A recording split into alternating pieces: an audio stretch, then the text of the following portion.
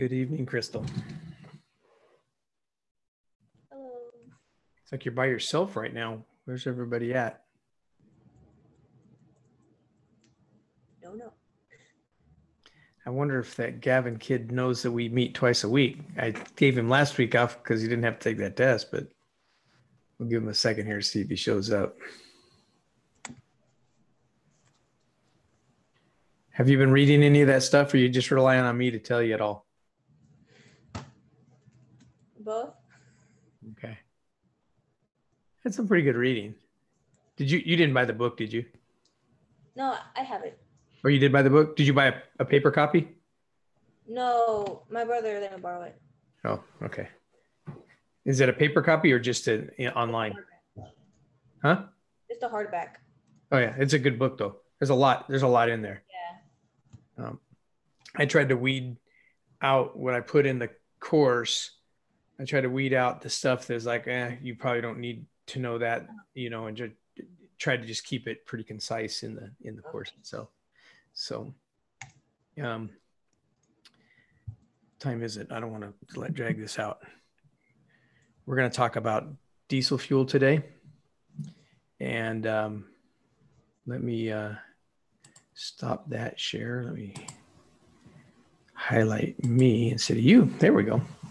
Um, and we are going to get my computer in the right mode here. So we're going to, uh, let me just bring up a PowerPoint on some diesel fuel. Believe it or not, we could, uh,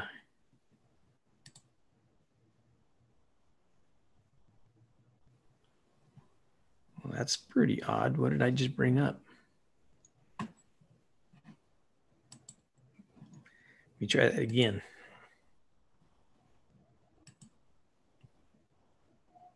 Hmm. Let me find that PowerPoint.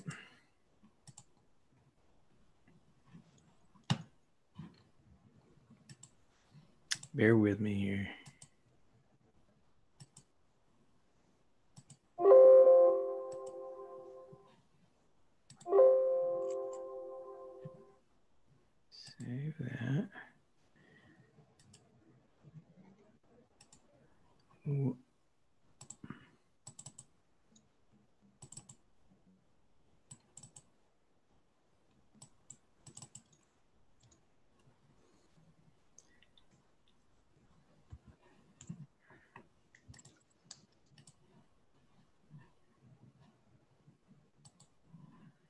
Hey.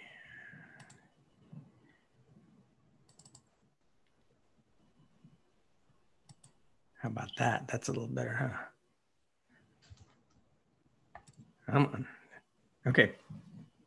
Well, since, since it's just since it's just the two of us, we'll go through this, and I won't keep you here forever.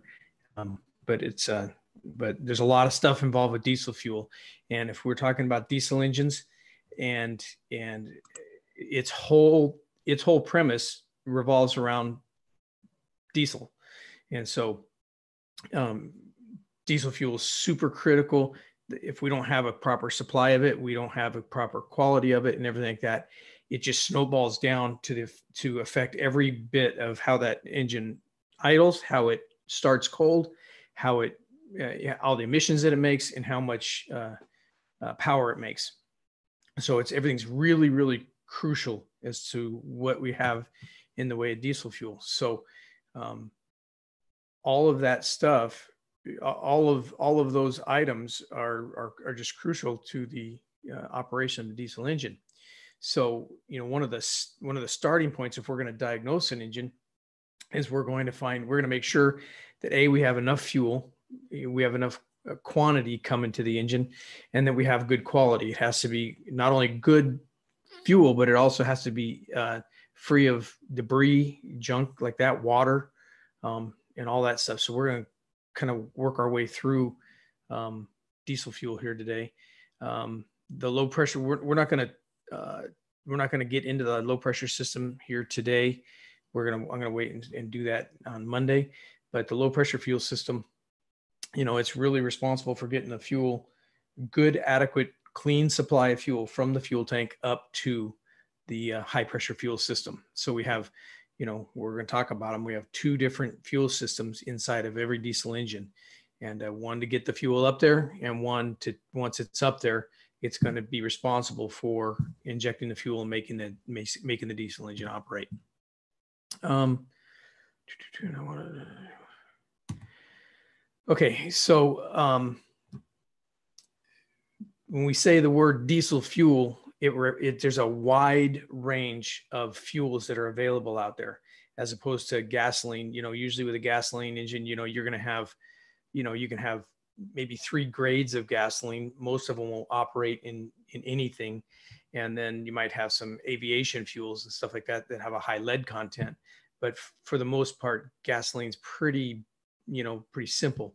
When we talk about diesel fuels we have everything from uh, jet fuel, which is, you know, jets run on diesel fuel, but it's a, a super highly refined all the way to kerosene to uh, bunker fuels um, and all, all in between. And so we're going to try to talk about what those are, what their qualities are. Um, we have diesel fuel made from uh, petroleum, biological sources for our biodiesels, and then we can also make it out of they make them out of gas, and we'll talk about not, not gasoline, but like um, vapor gases, and we'll talk about that in a minute. So early fuels, we talked about it yesterday. The first engine that he ever built was made. He used he injected coal dust in there, uh, didn't work real well, but in 1900 up until about the 1920s, the thing that he sold his diesel engine on was, and the way the French wanted it so bad was because he ran it on a biological source, which was peanut oil. Okay. See, if, if you have, if you're running this engine on peanut oil, it didn't, the, you know, the, you know, some of the French uh, um, colonies that they had didn't have oil available to them you know they didn't they didn't have the oil industry available to them so they needed an engine that they could run on with not having to get oil. And so um, peanut they could grow peanuts and make um, peanut oil and then make a fuel oil out of that. And so they were able to use um, these diesel engines in uh, as generators and and farm equipment and stuff like that in some of these remote locations that they couldn't get oil for a for a petroleum based fuel, and they could use um, these these biodiesels at the time. But that's what this engine was originally designed on was biodiesel. Okay, and then in the but it wasn't until the 20s that they figured out that it was um, when they were distilling crude oil to make gasoline. Well, would they they have all this leftover stuff? Well, they figured out that they could use that in a diesel engine and use it really efficiently. So it became the um, uh, it, it became the fuel of choice because it was super cheap to make because when you take a, a you know a barrel of, of oil, crude oil and you start distilling it off and making gasoline and you got all this extra junk left over what they didn't know what they were going to do with all this extra junk. Okay it was a byproduct that they were throwing away. Well they started making diesel out of it and they started figuring out that they could do other things with it. And uh, and so it was um, that's how they ended up with uh, petrol diesel. Okay. And then, but then they started having problems um, because there was no standards. So they had diesel, you know, they were just throwing all kinds of crap out there as diesel fuel. So we had lots of emission problems, which in the old days, they didn't care about emissions. But what they did have problems with was uh, high pressure fuel pump failures and engine failures because of poor quality diesels. There was no no standardization as to what was going on out there. So that's when this uh, ASTM got involved and and started. They actually were a different name in the beginning, but um, they came up with standards to say, okay, what are the standards that you know we're going to come up with with diesel fuel so that everybody's got the same um, you know quality of diesel. So that way, manufacturers can make you know engines and high pressure pumps and stuff like that to work the same from across you know party lines and they don't have to um, um, you know they can build it one way with one fuel and everybody's happy okay? So they've they've addressed standards uh, with biodiesels. They've addressed uh, standards with uh, um, fuel grades for regular pe- petrol diesels i think one number two number four we're going to talk about those in a little while here um, so don't get worried about that, but they just have different gradings that they have for diesel fuels. Um, we'll talk a little bit more about this, but they use um, the high speed, more high speed diesels are going to use the thinner number one diesels and, and home heating oils and stuff like that are going to be uh, your number four diesels or big boats and stuff like that. It's called bunker fuel.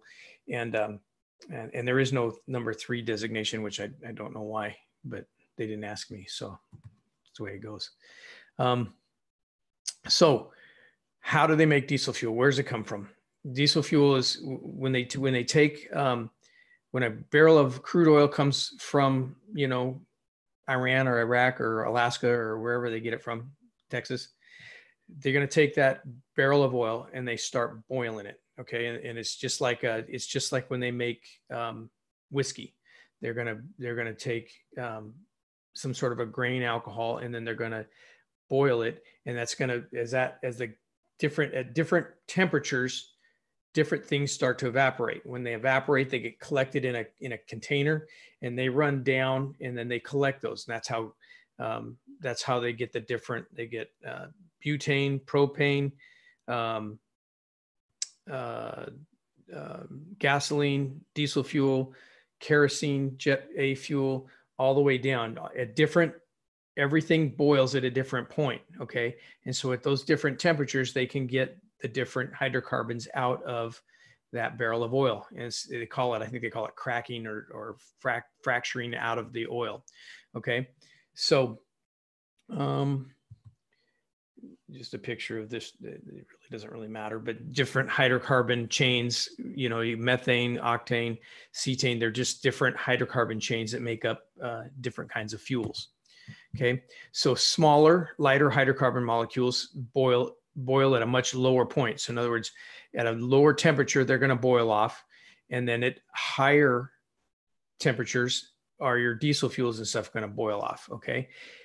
What that what that practically means is is that the is that the fuels and gases that that uh, boil off at those lower temperatures, they're going to have a much less heat content in them as opposed to the diesel fuels, which are which are heavier. The heavier that fuel is, the more it takes to boil off, the more heat content that is. And what that where that comes down to in a practical sense for you is that the reason we can get better fuel economy out of a diesel as opposed to a gas engine is because a gallon of diesel fuel has more heat energy in it than a gallon of gasoline. Okay. So, because what we're trying to do when we fire off that cylinder is is we're trying to get a, a, a good solid explosion in that cylinder to make make power and push that piston down. If that fuel, I'm sorry, let me get drink water. If that fuel has a lot of high energy in it, we don't need to have as much of it in there. Okay. Whereas if it doesn't have a lot of energy, we got to put more in. So that's where we get why a diesel engine has um, gets more gas mileage is because it has um, more heat content in its fuel than a um, gasoline engine does. And where that where that really equates to is is as that fuel is burning, as that cylinder is burning on the way down. We talked about this a little bit on Tuesday. Gasoline burns really quick, and so like in the first third of the stroke, it's all burned out and done. It has burned all its energy up and it's and it's done. Okay, so the rest of that stroke is just a waste of energy, waste of time. Where a diesel has more energy built in it and it takes longer for it to burn out. And then so it burns all the way to the bottom of the stroke or, or more. You get more of the stroke with uh, power. So you with all that extra heat energy, you get more power and you get better fuel economy. Okay. So here's just kind of a picture of uh, just an illustration of how they, you know, they're they put crude oil in here, they heat it up, and and the different vapors are going to come out of this container at different levels because of the temperatures. Okay, so you're going to have your uh, gasoline, kerosene, diesel, then your fuel oils, and then all the yuck at the bottom is your lubricating oils, your waxes, asphalt, you know. So they actually use every part of that barrel of oil for something. Um, but that's how, I mean, in a in a nutshell, how they get what they get out of a barrel of crude oil. Um, so the other way that they make it, and and this got invented back in the 20s because Germany, okay, in the 20s would have been um, in the middle of early world, probably late World War One, early World War Two. They were, you know, Germany was just a mess over there, and they didn't have access to a whole ton of of oil. Okay, so they came up with this this dude Fischer, whatever these like Tropish, whatever his name is. They came up with this process. Sorry, I'm I'm a mechanic. I'm not a speller or a reader, but they came up with this process where they can take, uh, uh, you know, coal, carbon dioxide, rotting rotting gases, decomposing gases, and plant matter and stuff like that. They take these methane gases and, and stuff, and they can then synthesize that and turn that into a diesel fuel and and and it and it's so it's a it's a diesel fuel derived from gases rather than from oil okay? And it works the same.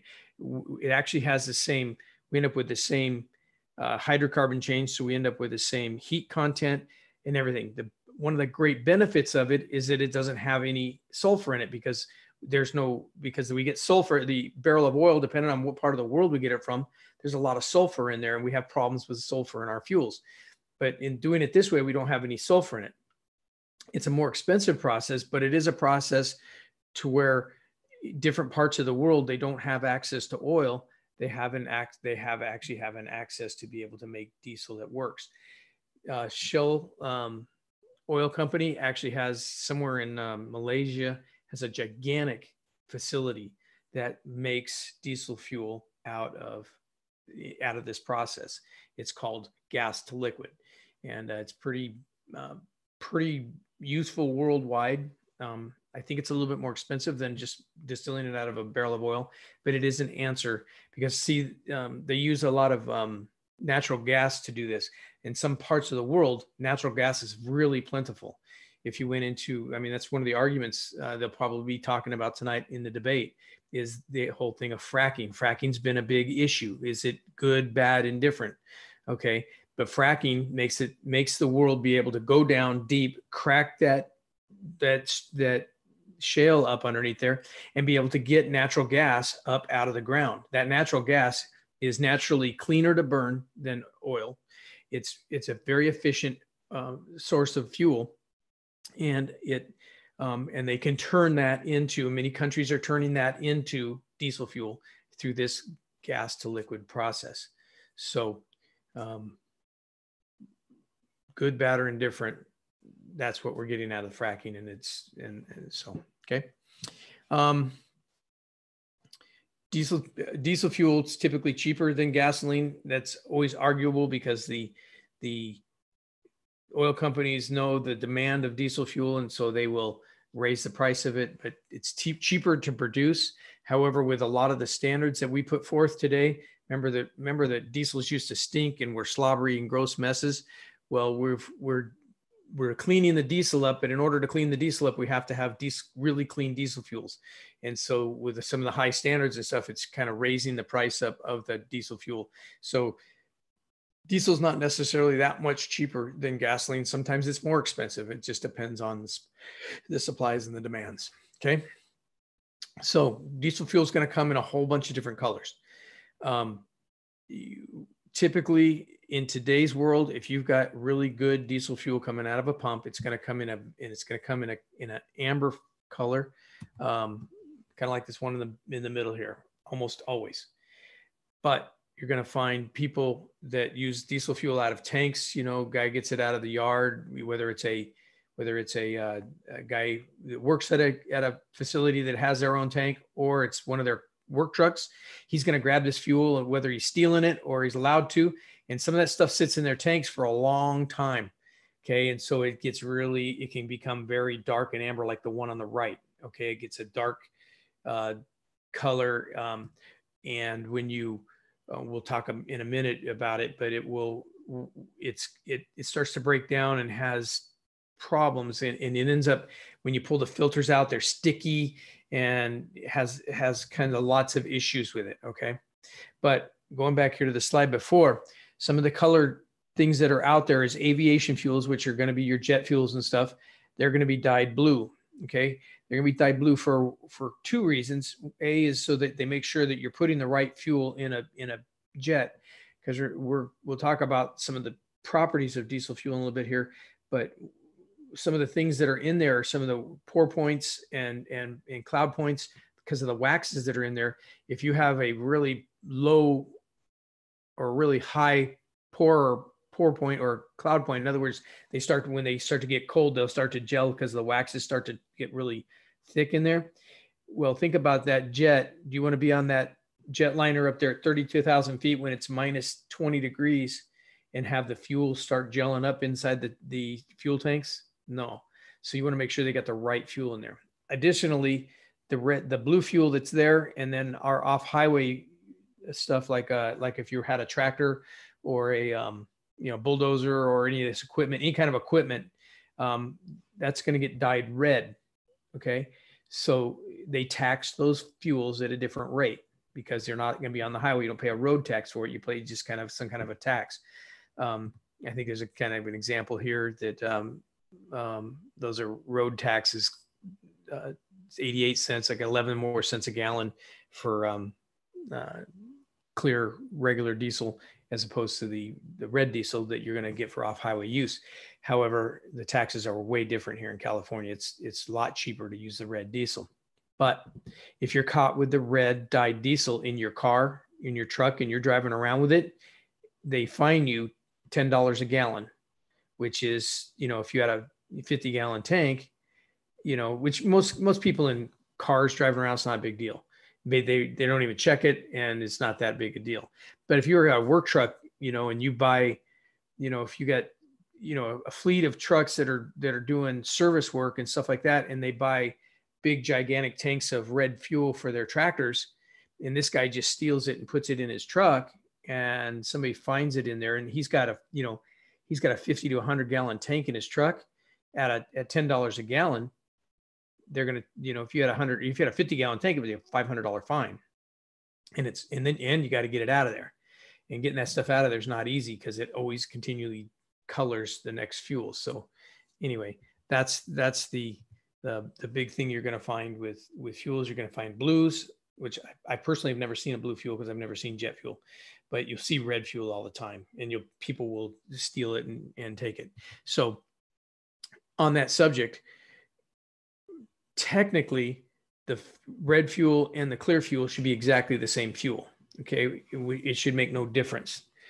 But um, depending on the yard that you're, you know, depending on the place that's got the red fuel, they could be buying their fuel from a source that's not ultra low. And we're going to talk about ultra low sulfur here in a second.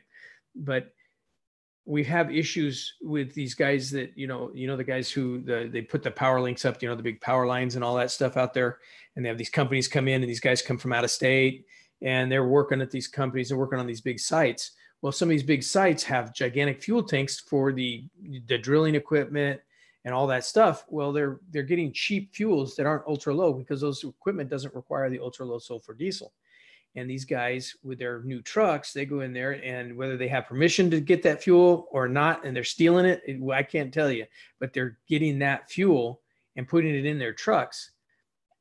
And so all of a sudden now they're all they've got uh, high sulfur fuel going through their engine and it's poisoning their after treatment systems you know and it's you know some of that some of that after treatment st- systems can cost you know somewhere between two and six thousand dollars and it's like, well, pretty, pretty, pretty dumb move. So, and we'll, we'll make sense. That'll make sense here in a minute, but all right. So this is a picture of, of on the left there, you'll see the, the clear diesel fuel that's normal.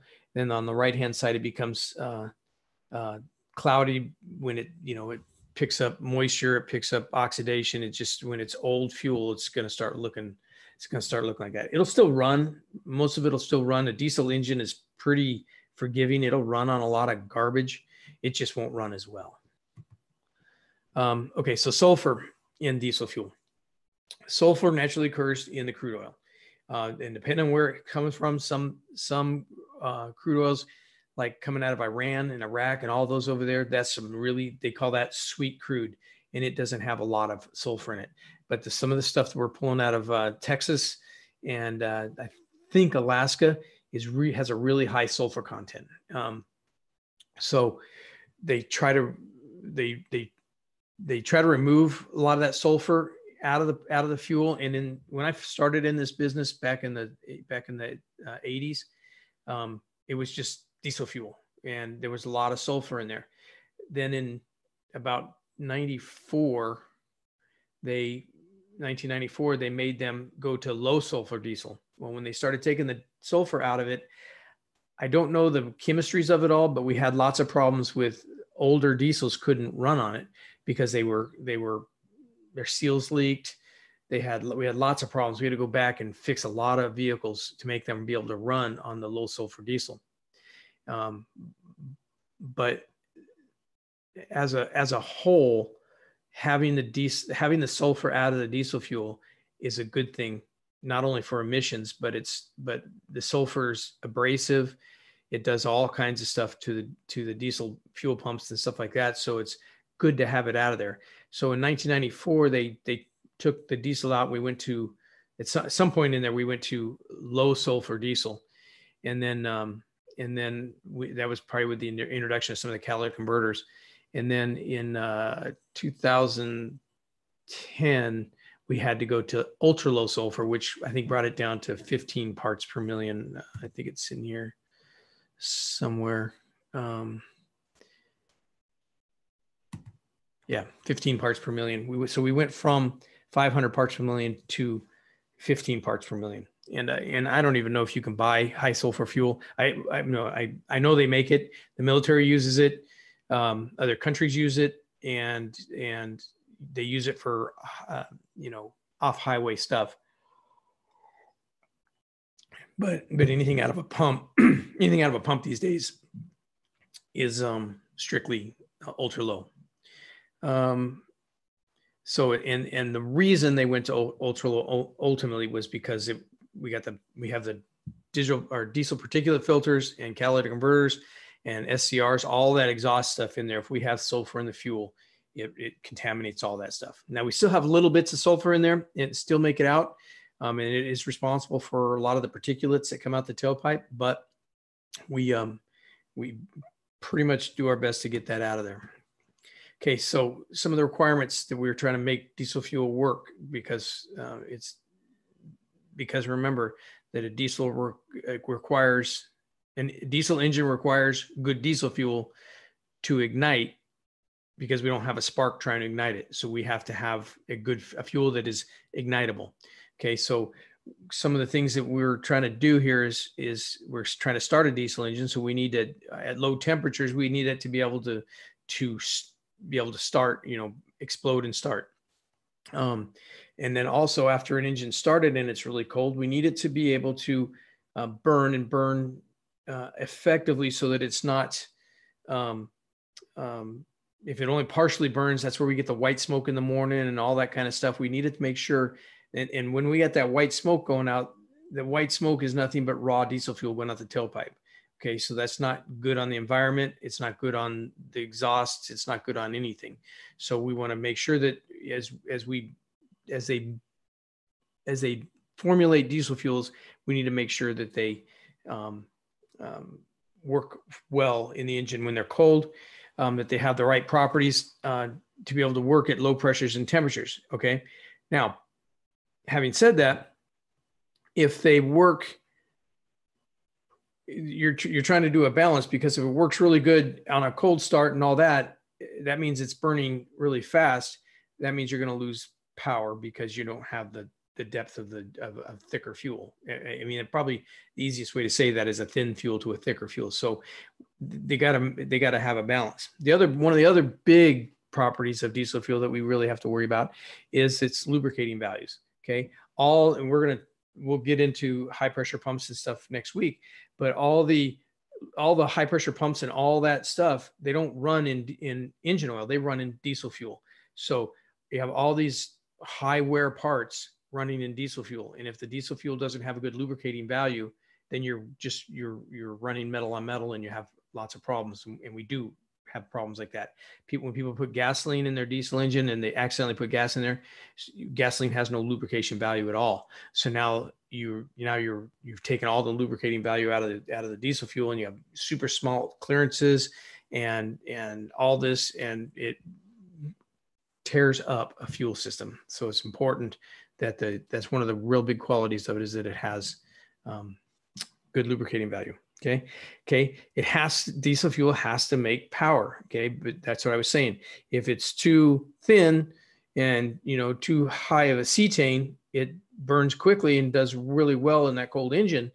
But then when the engine's hot and stuff, we don't have the the power rating that we that we would get out of an engine. So we got to make sure that there's uh, the oil that the fuels has that balance so that it runs good cold and has lots of power hot.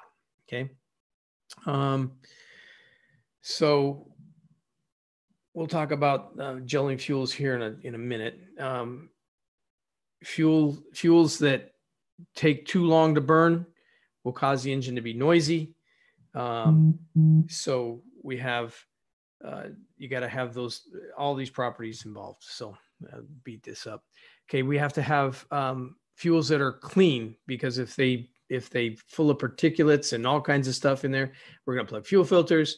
If they've got lots of uh, gums and resins, that's why I talk about. Um, you know, when the oil, when the fuel gets old, it starts getting gummy and resins build up in there and everything, and it, it just plugs filters up, and it's just it, you. It, if you ever take one off, they're sticky and they're gross and it's terrible. Okay, uh, we need good fuels to promote fuel economy, lower emissions. But I want to talk about these flashpoints. So um, flash point's the temperature which fuel, when it's when it's heated, will start to make a vapor. Okay, um, and then it becomes unsafe. Gasoline boils at will start we'll start making a vapor. I don't know that it boils, but it makes a vapor at minus 40 degrees. So super, super, super, super cold. Diesel or gasoline will make a vapor and you can light it with a match and burn it. Diesel fuel, on the other hand, doesn't start to um, uh, vaporize until about 100 to 125 degrees. So it's very stable. And that was the difference. Remember, we talked about the, the French wanting to put the, the diesel engine in a submarine because gas engines were the gasoline down there's, you know, super volatile. Whereas diesel fuel is super safe and super stable. And I think I've got a, I got a slide here in a second. Um, look at how look at this is the this is a a a just a chart of flashpoints. Minus 40 degrees down here for gasoline jet fuels you know 100 degrees. Regular number two diesels you know almost up here at 150 degrees. Bunker fuel which is your number four diesel you know almost 200 degrees. And then look at biodiesel biodiesel is like you know near 300 degrees before it starts to become uh, before it vaporizes. So, you know, biodiesel is exceedingly safe fuel. Um, okay, and I was I was just showing this to my wife last night at the gas station. You go to the gas station around the diesel pump, and what do you see? Big gooey slobbery mess all the time, huh? Okay, that's because the gas. If you if you spill gas out of the gas pump over here, it it evaporates. As soon as, you, as soon as it hits the ground, it evaporates. Might leave a little stain, but that's it. But if people spill diesel fuel on the ground, that diesel just sits there. It doesn't evaporate. It's going to sit there till somebody washes it off. And that's that's the difference between gas and diesel in their volatility. Now, auto ignition point. This is this is another very crucial point in in diesel fuel. Um, the auto ignition point of uh, diesel is somewhere between 392 and 482 degrees, and the minimum it's going to be 292 degrees. Okay, that's the that's the temperature in which if you heat it up, if you heat that diesel up, it, will just ignite. Okay. Gasoline, on the other hand, I think I wrote it down here. Gasoline doesn't ignite till 536 degrees. So gasoline has to be much hotter before it ignites. Okay. So even though even though gasoline starts to vaporize at minus 40 degrees, it doesn't auto ignite until a really high temperature, as opposed to diesel fuel, which doesn't vaporize until it gets to about 100 degrees, but it won't auto ignite until 392 degrees. So it's lot, much, much more stable fuel as far as that's concerned. And that's why when people accidentally put gasoline in their diesel engine, what happens is it is it doesn't burn as quick. And so it's got a delayed ignition. So you hear when you when you have gas in there it you can hear it knocking and stuff because you have that late ignition and it makes it have a lower uh, cetane rating and it makes a, a lower ignition or later ignition makes a noise smoke and all that but if you put diesel fuel in a gas engine accidentally which it happens people do it it lowers the octane in the gas and it causes it to pre-ignite. In other words, you're going to you, the, the you're going to pre-ignite that gas engine and you stand a lot better chance of damaging a gas engine with diesel than you do gas in a diesel because the diesel in the gas engine causes pre-ignition and it and it will it will actually if you're driving it too much it will actually melt pistons i've seen that happen so but on the flip side, if you have that diesel in the gas or the gasoline in the diesel, you lose the lubricating value. You can you can hurt your high pressure fuel system. So the bottom line is put gas in your gas engine, diesel in your diesel engine. Got it? All right.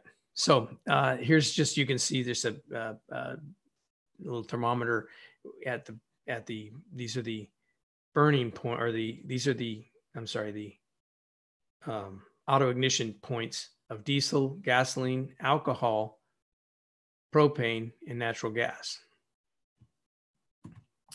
Okay, uh, volatility, it talks about that's, we just talked about that. That's uh, um, where it's going to vaporize. And that's where diesels don't need, where gasoline engines, if you, you have you been through an, a uh, 99 class with your brother or anything? No, but I, I have. Okay, are, are you familiar with with um, uh, evaporative emissions in a gas engine? Mm-mm. Okay, so so in a car, like any car that you drive that has a gas engine in it, we have what we call evaporative emissions uh, systems because gasoline evaporates, and when it, evapor- it evaporates, if you if you leave a, a, a cup of gasoline out in the driveway, it, in in an hour it'll be gone. It'll especially if it's a hot day, it'll just evaporate away. Okay, that's because it vaporizes at minus 40 degrees. So the hotter it gets, the, the more it evaporates. Okay, that, that evaporates into hydrocarbons in the atmosphere. Okay, that's a problem. Those are just raw hydrocarbons in the air. Okay, that's one of the big emissions that that's a problem in our that we're trying to deal with. So in a gas engine, they we put a, uh, a gas cap on there. We we seal the gas tank. We put it through a carbon canister. We do everything to trap that emissions from coming out of the gas tank because more if you don't have if you don't trap all that emissions coming out of the gas tank you have more emissions coming out of the gas tank than you do going out the tailpipe because it's just the nature of gasoline so they so they kind of trap that and we re, we trap them in a carbon canister and then we burn them in the engine. Well a diesel because a diesel doesn't uh, evaporate like that it doesn't start boiling like that it, it's very stable. So we don't it doesn't require any kind of evaporative emission and we can just vent a diesel tank straight to atmosphere. And you can see right here there's a little vent. If this was a gas engine this vent hose right here would go to some kind of a device that would capture those vapors in a diesel they don't you don't get any vapors out so it's it just vents so it's not a not a big deal okay so now we're talking about pour point and cloud point so when when diesel fuel gets cold it the colder it gets, the there's always a wax content in there, okay? And that wax starts to gel, and they they call it fuel gelling. And it so so as it gets the colder it gets, it gets to a place where they call it cloud point, and it gets to a place where it's where the fuel starts to get a little bit cloudy. And I personally don't want to live in a place where I actually get to see that. I like living in Southern California where I don't really care about how cold the fuel gets because it never gets that cold here. But Having said that, you could go to Big Bear and go skiing or something like that and get into some really cold air. And, and, and so it, this becomes an issue. But all those waxes become milky and everything. And, and, and it becomes kind of thick, kind of gets kind of thick. But then when it gets a little bit colder, it gets to what they call the pour point. Okay. And the pour point gets to a place where now nothing flows. Okay. And where it says here on the bottom, it says, then it'll it'll plug up. Is it here? Is it on this page?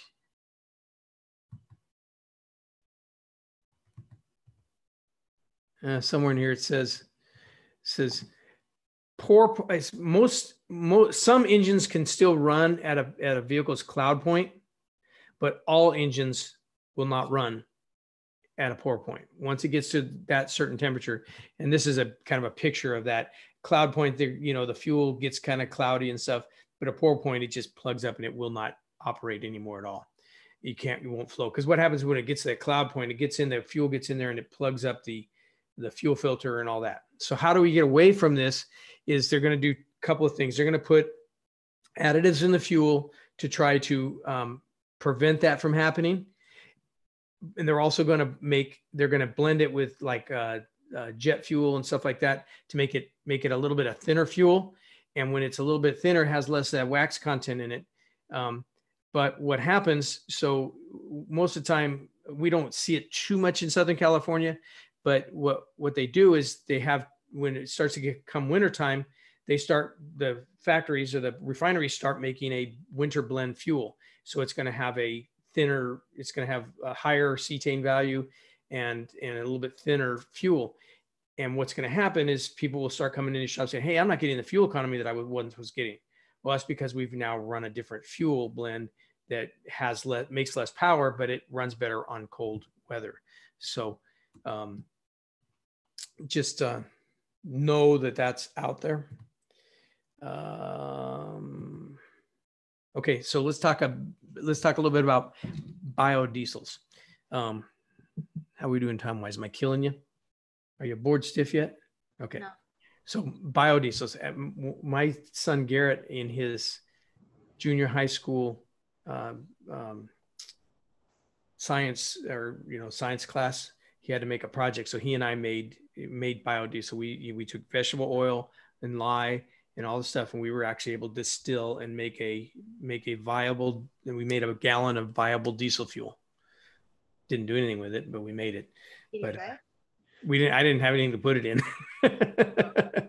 But uh, we made it and it you know it worked. Everything everything we did worked. Because what they uh, there's uh, i and i didn't if you get in your book if you really want to find out about it, it's kind of interesting but in your book they talk about how they all the ins and outs of how they're how they're making it what they're they have to put you know that you can't just run it's not just straight up you know peanut oil or vegetable oil or anything like that. There has to be certain esters and things like that you know molecule chains inside there so that it works and flows and does it.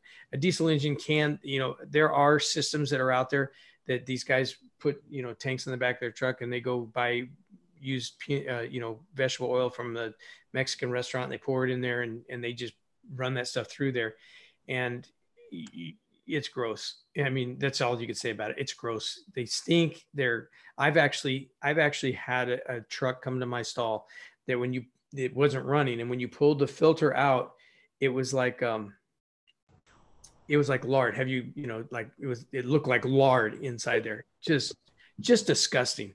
And you know, because it just it solidified, and you know, you have to, you can there's a guy that I think he finally sold a truck, but he was running around. There's a system there's a there's a some hippies up in Northern California that sell these systems where that you you just run those kind of oils and stuff like that, and they run the heater hoses from the engine back there, and they they try to heat all that stuff up. And what you're supposed to do with them is start the car and run it on diesel fuel, and then you flip the switch and then your your engine's running its heater hoses back and it's heating up this oil so that it flows and then you flip the switch and then it runs and it runs this stuff through there.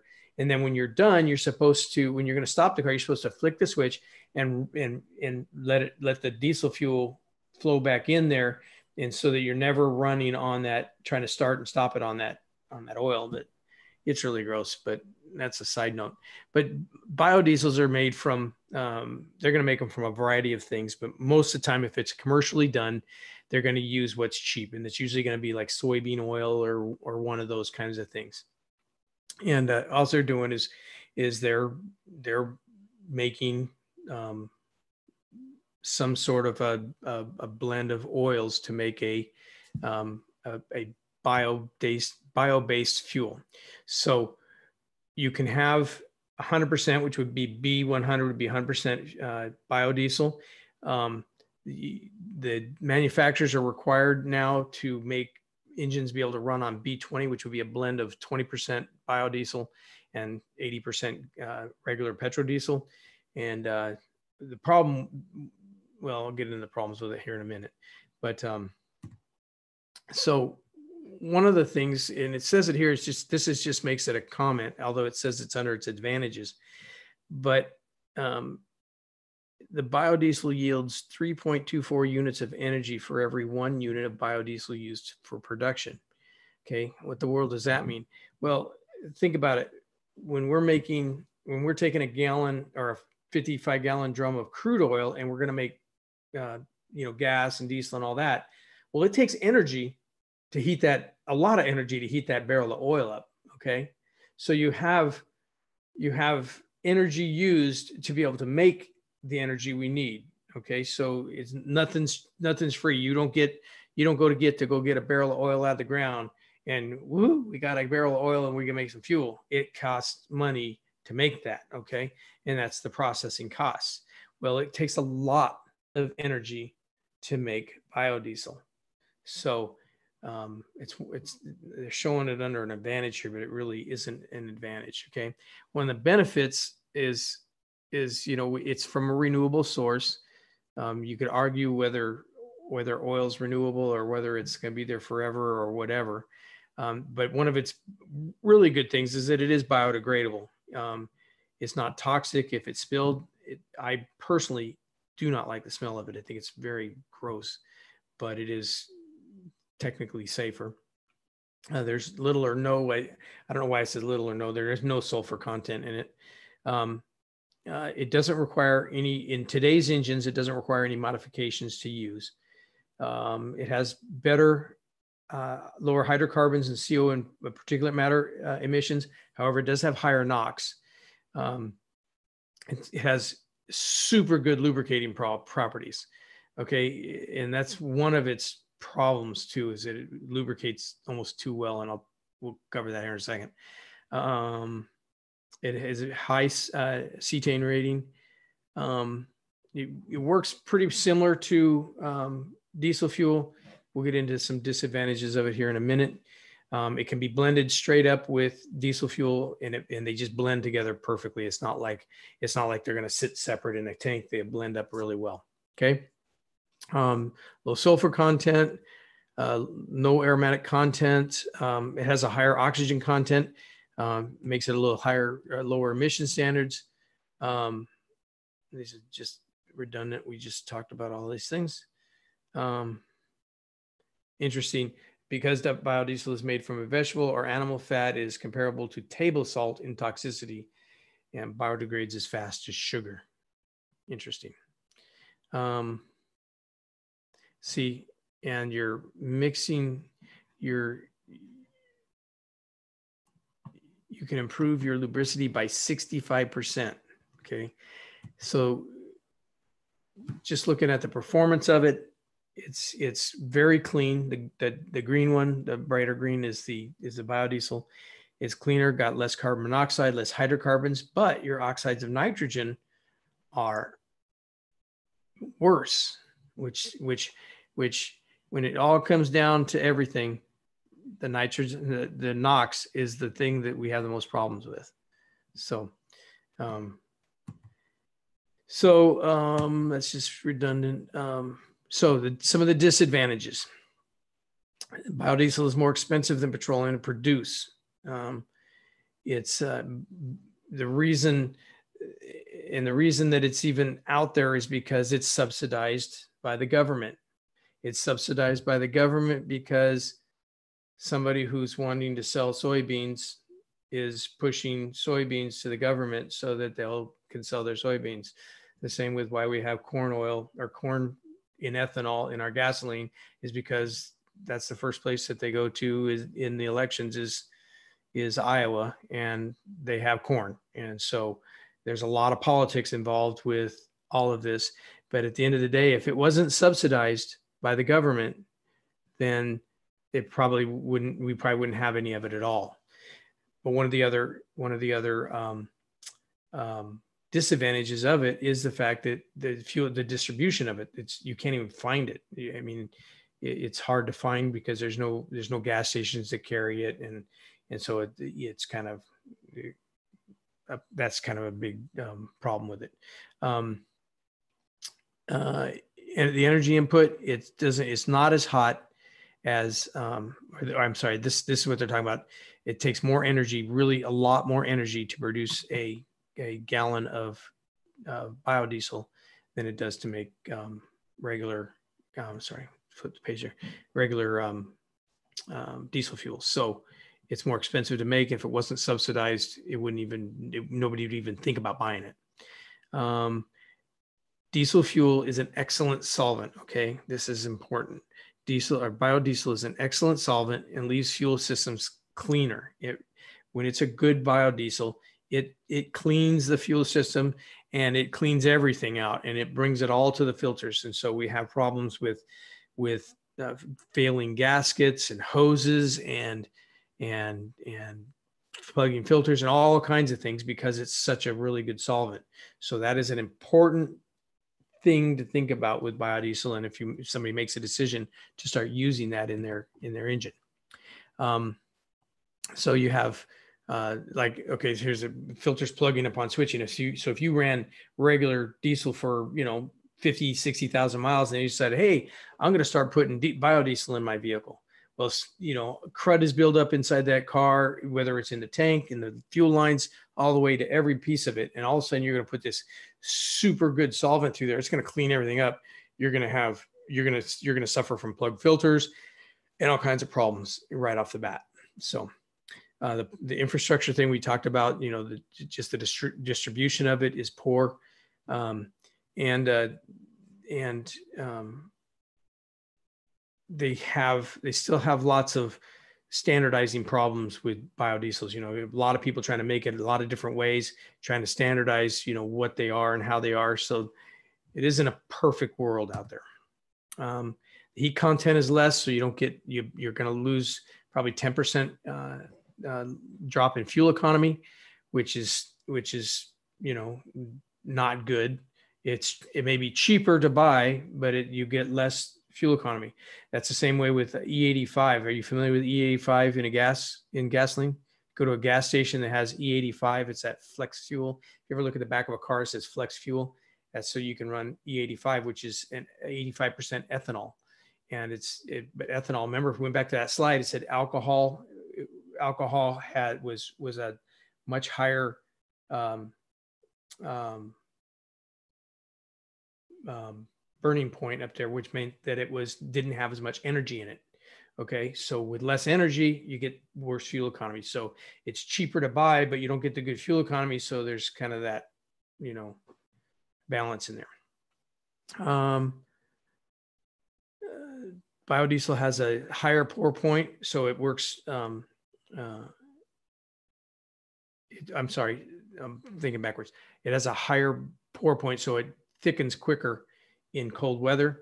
And so it's not as good in cold weather. It doesn't have a very good shelf life. Diesel fuel, petrol diesel will last longer on a shelf than uh, than biodiesel. So it has to be used up. If you don't use it, it starts getting acids involved in it. Oxygen and water starts getting involved in there, and it just becomes a big disaster. So you got to be real careful with it. Um, can't keep it over six months. It likes to gel. Uh, just lots of um, if once uh, this is an interesting point, I, and, and, I had this actually happen to me once. Um, the on the newer engines, we're, we're going to talk about it some of the emission things later. But we fire we need we need to put fuel in the exhaust to be able to clean the exhaust.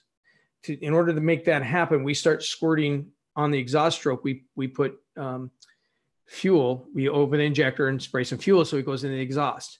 Okay. And that's all fine and dandy. It's all designed to do that. But if you're running too high a content or too much uh, biodiesel in there, that biodiesel works its way through the rings and gets into the oil pan.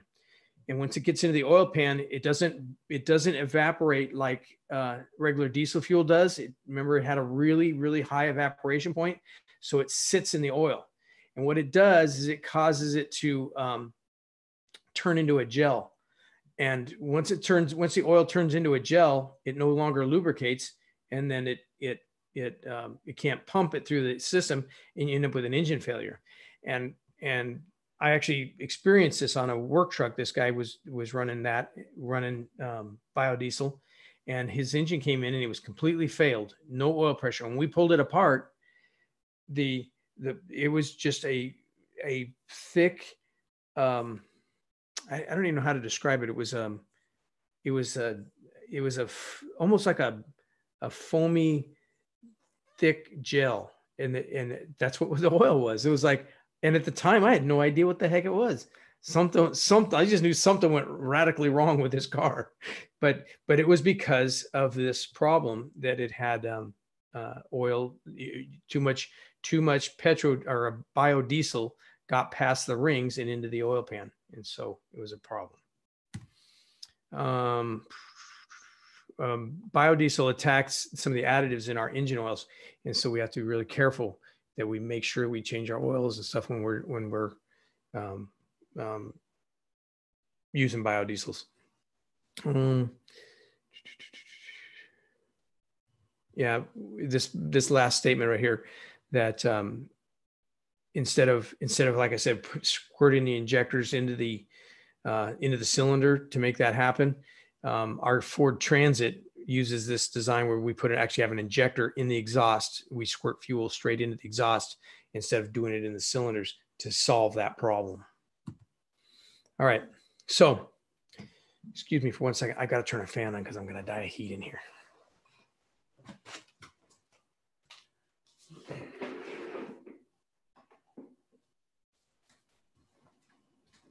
If I would just hurry up and get done with this, I'd probably be able to go outside and cool off. All right. So there's a lot of different kinds of um, types of fuels that are out there, whether it's for for on the highway or off highway, agricultural, locomotives, vessels, uh, you, uh, you know, trains, um, all kinds of stuff.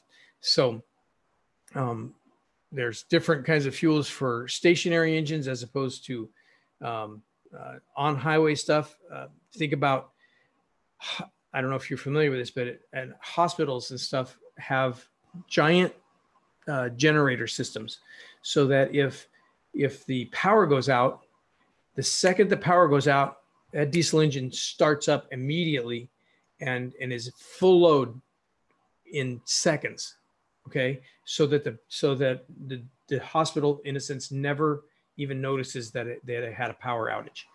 Um, so those engines have to be sitting there ready to go and have to have the right kinds of fuels to make that happen. Okay, so you have all that kind of stuff going on in this in this diesel world.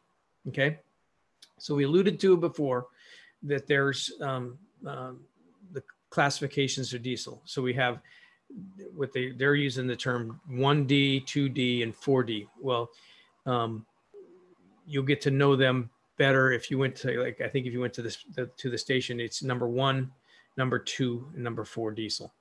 You will probably never see number one in your life. Um, I've never seen it. It's we always use number two here, um, and then number four is going to be for home heating oils, uh, bunker fuels, which are going to be your um, uh, fuels for boats and locomotives and stuff like that. So, what is that all about? Um, number one diesels are going to be thinner, less dense. They're going to they're going to use them more in cold weather operations, but they'll also use them in high speed operations. Uh, small light duty diesel uh, high speeds in Europe. It's a very it's the diesel of choice. Okay. As we think about it, D1 or number one diesel is going to be less dense Okay. And remember, if it's less dense, it's going to have less energy content in it, right? Whereas number four is going to be heavier and more viscous. And the because it's more viscous and more heavier, it's got more of the heavy waxes and the higher carbon content. it's going to have more energy available to it. Okay. So, so as you look at that on a scale, just remember, remember that. But we're going to be in our world, we're going to see number two diesel. Our number two diesel is going to be, it's going to have a minimum of a 40 cetane and up to maybe 55. I've never, I've never seen it that high, but it's usually going to be something, something. I've always seen it something, something greater than 46 uh, cetane. We'll talk about cetane here in a minute. Um, the number so yeah, the number two is going to give us a better fuel economy than the number one. Remember, because it's got more heat content in it. So, um, and there's just a lot that goes into getting the right mix in the blend. Um, the number four, they'll put into it can tolerated uh, by those direct uh, indirect injected engines. Remember, they had the the they had the pre cup and they it just a kind of a sloppy injector, and you're you know those are big equipment, you know, trains, boats, and that kind of junk. Which if if you're going to get involved with, you just kind of need to know about it. Um, it is not number four diesel is not allowed to be on the road. It's I think it's colored. I think it's dyed, but I don't know. I do know that uh, some of the fuel oils that they put in um, um, boats actually has to be heated in order to get it to flow. It's that thick. But, but keep in mind that the thicker that oil, that fuel oil is, the more heat it has available in that gallon of fuel. So they can get much greater power and economy out of that out of that fuel. Also keep in mind that when we talk about number four diesels, it's not very refined. It's not it's not very clean. It's a messy, dirty fuel, and that's why they use it for home heating oils and stuff like that. Um, we talked about biodiesels at length. We don't need to um, beat that up. So I've alluded to uh, cetane numbers. Cetane, or what they call CN, those are, if, are you familiar with octane in gasoline? When you go to the gasoline pump, there's, you have 87, 89, and 91 octane, okay? Well, in diesel fuel, we have um, number two diesel, but number two diesel is going to carry with it a, a cetane rating, which is going to be somewhere around, is something, number two is going to be somewhere above 40 and somewhere below 55 cetane, okay? And what those what those numbers mean is octane. The higher the octane, the slower it burns. In other words, the more it's resistant to burning. Okay. Remember, with a with a gas engine, we want to we had the problem with with higher compression ratios in uh, pre-detonation because the the fuel would want to catch on fire before it got to top dead center because of the heat so we have higher octane, which resists burning so that we can actually run those higher compression ratios. Remember, if we have a higher compression ratio, we can have more power. But the disadvantage, you've got to be able to compress that air fuel mixture in a gasoline. So you need a higher octane to be able to do that. Well, as opposed to the octane rating, a higher cetane rating means it takes uh, uh, less time to burn. Okay. A lower cetane, a 30, is going to uh, resist burning as opposed to a 50, 55. The higher the cetane rating, the higher it's, the faster it's going to burn. So it's completely opposite of octane. Okay. And so if we have a uh, really high octane or cetane rating, it's going to burn quickly, but we're going to have less power. But if we have a low number, it's, it's going to resist burning and it's going to have more power, but it's going to, it's going to be harder to start when it's cold because it doesn't want to burn and it's going to smoke and all kinds of things. So there's that, there again is that balance. We want to, we want to hit that, that perfect balance so that this thing will start good and give us lots of power. But when we're talking about cetane rating, and this is important for you to know, is that a high cetane rating means it it's it's um, more ability to burn as opposed to an octane with a high number is its ability not to burn. Um, we just covered all that. Uh, so biodiesel standardized usually comes at about a 47 cetane, and that's what you're really going to see uh, number two as. I think i I think we're going to talk about it here in a second, but I brought home a cool tool. I was going to bring home a, a bottle of diesel, but I won't have diesel on my game table. But this is nothing more than a hydrometer and we're just going to, we're going to just suck up some diesel fuel in here. And it's just going to just like a battery hydrometer or a cooling hydrometer. It's, we're just going to check the specific gravity of the diesel fuel in this, this little bulb inside here. Can you, you can see that? There's a little thing inside there that's floating back and forth. It'll float in there and it'll, where the fuel level is, there's a number in there and you can take that number and know what your cetane value is in in all reality and in, in all practical senses in Southern California, because of because we're in California and they put such stringent standards on fuels, we have very little problem with fuel from the pump. Okay, so so most of the time when somebody comes rolling into your into your stall, you're really not going to have a cetane issue. Where we run into cetane issues is if somebody comes in from Mexico or they're pulling fuel from um, you know a, a, tank someplace who knows where it who knows how long it's been sitting there. Or we can get some stuff coming out of texas and stuff where they don't have the standards and you can get some pretty cruddy stuff coming in. So we have the tool. I haven't i haven't pulled that thing out of the it's probably been 10 years since i pulled that out of the cabinet. But it but it is there and we can we can use it if we you know if we have a problem. And you know and, and if we do have a problem with low cetane you know how to fix it drain it out and put some new in. I mean, it's pretty simple.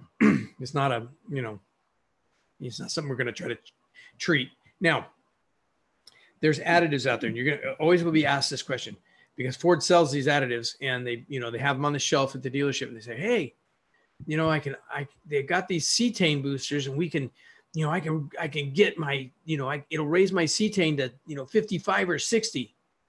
Why wouldn't, I'll, I'll uh, test you on this. Why wouldn't we want to raise our cetane to 55 or 60? What, what, remember what is, if we're going to, if to, to raise that cetane, we're going to make it thinner. We're going to take it from a number one to an, or number two to a number one diesel. We're going to make it thinner. What's the disadvantages of having a too thin of, of fuel? Will it burn too quickly? Yes, it'll burn too quickly. We'll lose the, the heat value of the fuel. And so you'll lose, you'll lose power, you'll lose fuel economy. Okay. So the reason we sell that cetane stuff is because in, in, you know, in Texas and Arizona and Montana, they might sell a cheap fuel that's got a very low uh, cetane value. If it was like at 40 and it was 20 to you know zero degrees outside the thing's having trouble starting well sure you put that blend that stuff in there going to raise your cetane value up to 46 47 and make it so that it's actually a fuel that'll start and run cold and, and work for you okay? But if you don't need it and you just put it in there you're going to you're going to get the disadvantage of losing fuel economy and power because it's too high a value. Very good. You passed. Um, so just as a, a fun little note, um, those those big operating machines with the bunker fuels, the number four, those can operate with fuels as low as 20 cetane. Okay, that's just a super low burning, thick oil that just takes forever to burn inside that cylinder, and it gets just get gobs and gobs of power out of them. That's and that's the you know, and that's what that's what they use them for. Um, we talked about that. Okay, so water and diesel fuel is a real big problem. Okay, and it and what will happen with water and diesel fuels is the is the water diesel fuel, especially biodiesel, is naturally hydro, hydros, hygroscopic, which means it will absorb water. Okay, um, it will absorb some water or it will separate, but it's but it's very um, detrimental to the engine. Okay, too much water in there causes things to rust. coagulate, uh, have all kinds of different kinds of problems, especially when it's cold and stuff like that. So we we do our best to condition it. We'll we'll talk next week about low pressure systems in our fuel conditioning modules where we're trying to condition that fuel before it gets to the pump is that we're trying to get the water and stuff out of it, trying to separate any moisture out of it. We don't have a lot of problems with it here in California. Um, we used to, um, but uh, they they do a pretty good job of filtering it at the pumps when you buy the fuel. But uh, we still, on occasion, will have what will happen is is a, a diesel fuel tank. If you just had diesel fuel um, stored, it will grow microorganisms and algae, al- actual algae like you find in a river. Actually, algae grows in a diesel, in diesel. Okay, and it's a problem. We have and we have biocides, which is a it's a poisons that kill um, that inside of fuels. We we can add to it, but um, we don't have a ton of problems with it. But but they do, and and so you'll end up with all this uh, algae and stuff growing in the tanks and water and all kinds of crud. So when when the dude comes to fill up the tank at the gas station, he drops that thing on the top, turns the pump on, and he just pours all this fuel in there, and he stirs up all that stuff that's sitting in the bottom of that diesel tank. And he gets done, drives away, and Joe Blow comes pulling up to the pump, and he starts putting that stuff in his in his truck. It it, it is not not as common as it used to be, but it's not it wasn't uncommon to have that guy just get a full load of garbage in his tank. Okay, so they've tried to do they've tried to filter all that stuff better at the gas stations to try to make that better, but um, it still can be a problem. But but also guys are storing fuel, you know, in, on their work site, job sites and stuff, and they're pulling getting garbage out of there and putting it straight into their cars, and it's it's terrible because you're going to get you know depending on how that fuel's being stored. There's rust in those tanks. You get chunks of rust up. You get water. You get algae. You get dirt all that stuff is really really hard on a on a fuel system so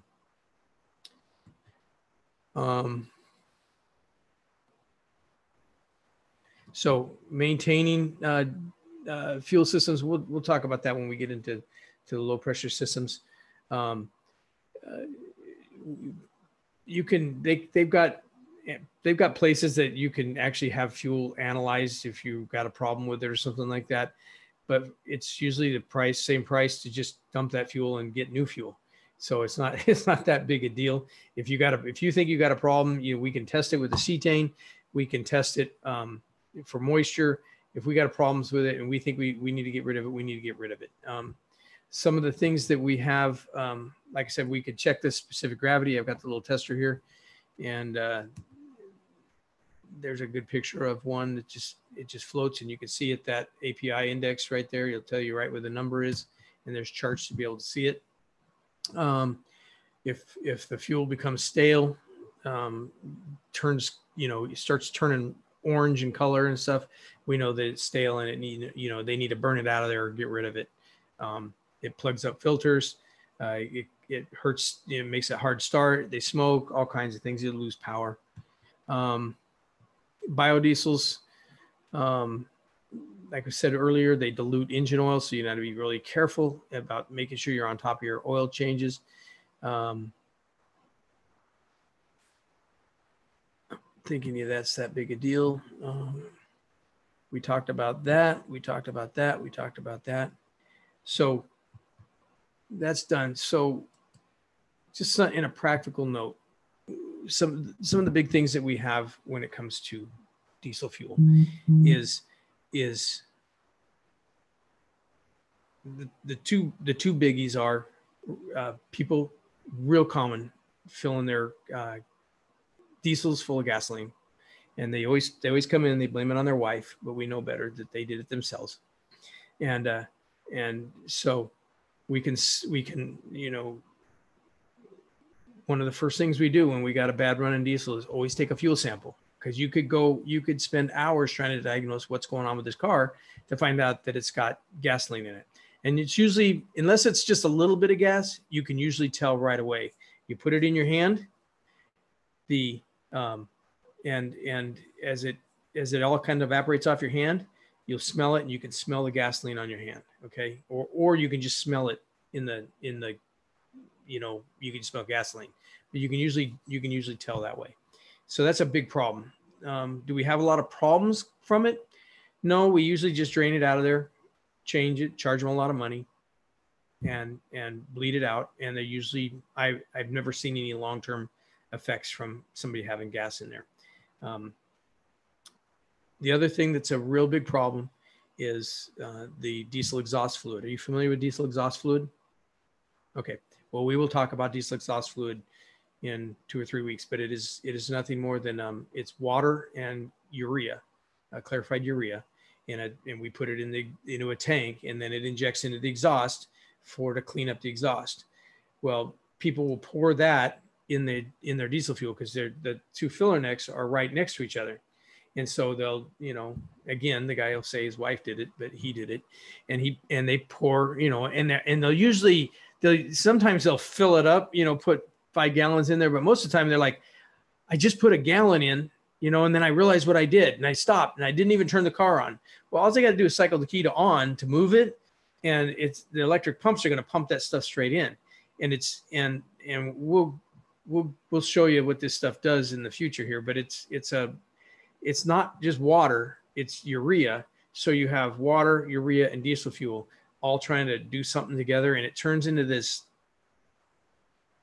I don't know, red, amberish, weird yuckma that that um, is very difficult to get out of the car. And we get it, you know, we sometimes we get it out and doesn't hurt anything, um, but probably 10% of the time we're, we're putting a six, seven thousand dollar fuel system in the vehicle because they they contaminate it with this stuff because once that once that stuff gets in there you got this crystallizing weird stuff getting inside the uh, inside the pump and these injectors and and these injectors are piezoelectric crystals that run in fuel and they can't handle that in them and so um, but those are really the big things that we see when we talk about problems with diesel fuel itself and I don't mean to bore you to death for an hour and a half or wherever long. It's only been an hour and 20 minutes about diesel fuel, but but but it is an important thing for you to know.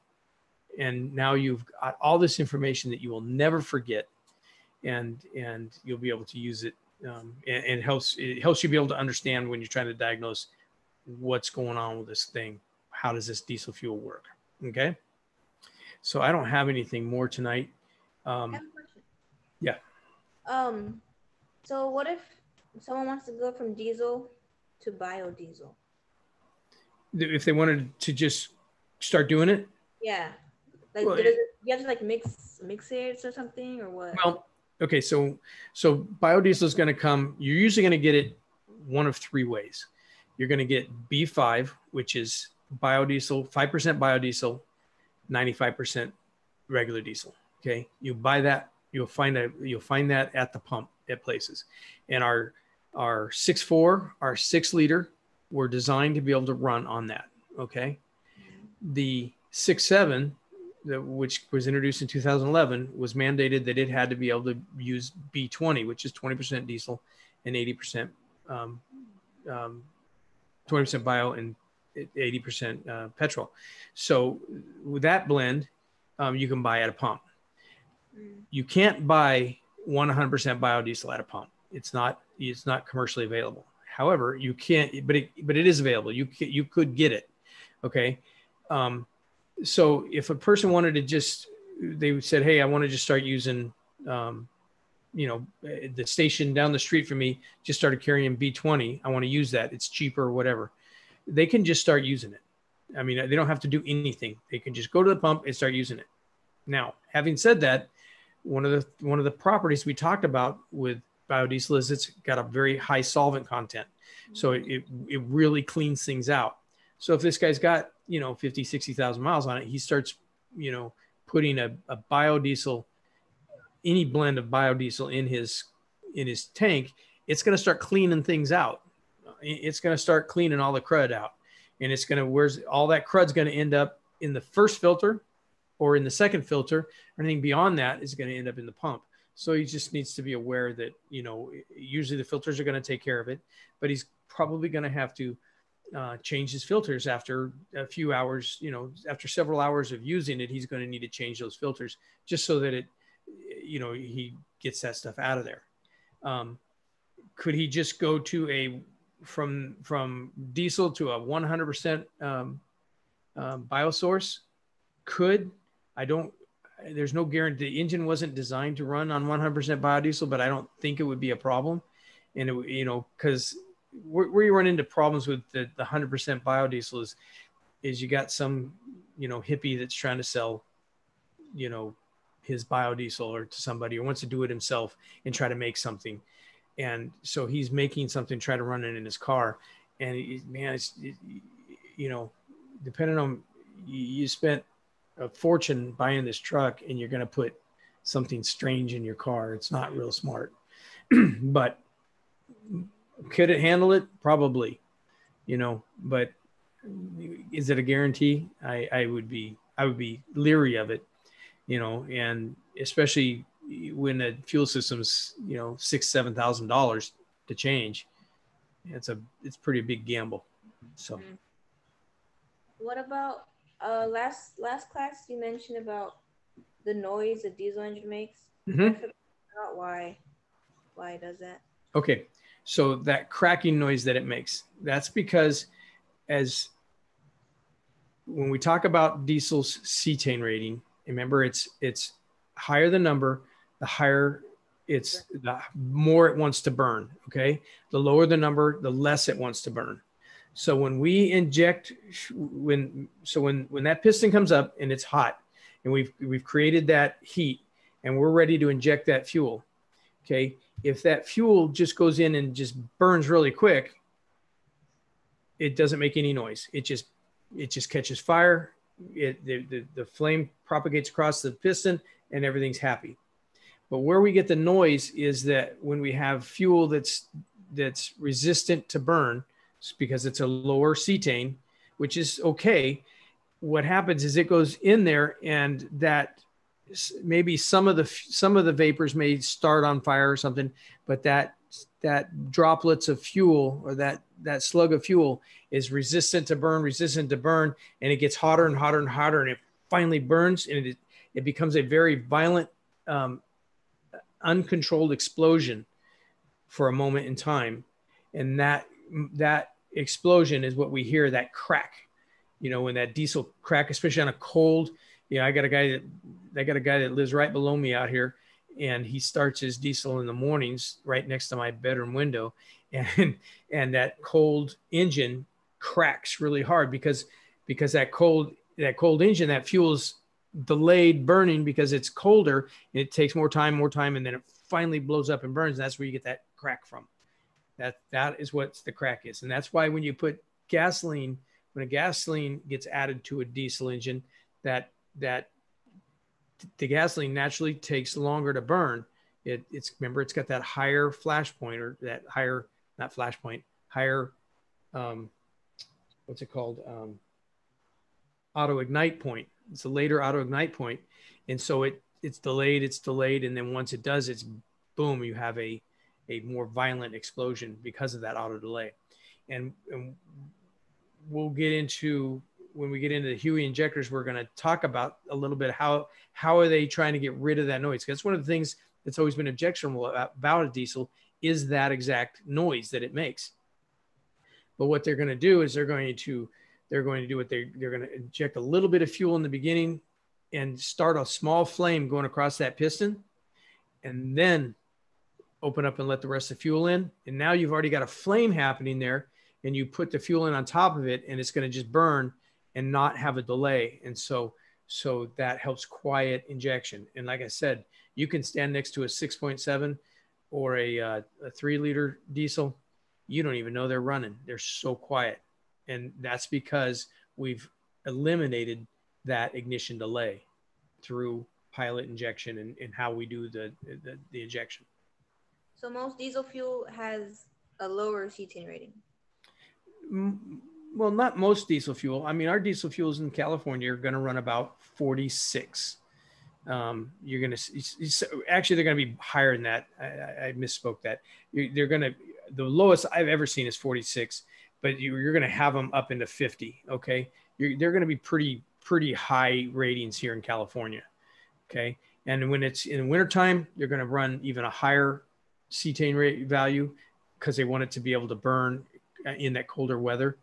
Um, but you I've never seen them as low as 40, but the minimum for for number two diesel is 40. So you're going to see somewhere between 40 and 55 C cetane. Was that high? 55 is high. Yeah, I've never seen I've never seen it as high as 55, but um, we don't see the winter blends around here. And I'll be perfectly honest with you, I haven't checked I haven't checked fuel in a long time because it just don't like I said we just don't have a lot of problems with it yeah. in, in California. Um, our fuels are our, our fuels are really nice. If you if you pull them out of there, like I saw that that in that picture of the fuel, that one in the center, kind of a just kind of a, a, a gold, kind of a golden color, clear golden color. It's you know very, you know, very good fuels. So. So you're going to get into aviation. You're when you're you're playing with aviation, but that's all gas engine, right? Yeah, well, there's also jet fuel too. Well, that's yeah. for like the turbines.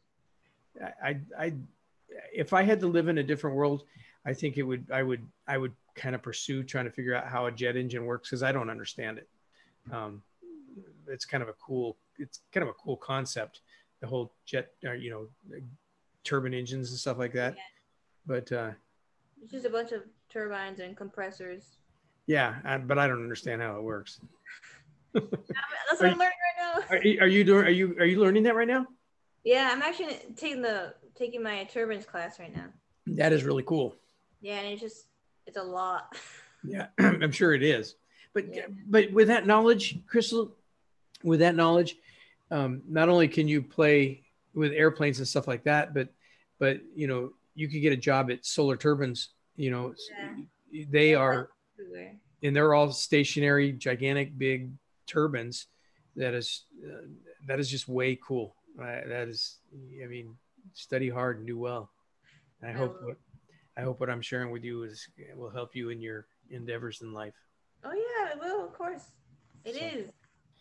So anyway, um, I got nothing else. We'll talk next week. We'll, we'll we're going to get into uh, low pressure fuel systems, and then we'll get into the HEUI systems, and then into um, um, um, yeah, common rail fuel systems, and then see if we have. Hopefully, we'll have enough time in this semester to get all of it in.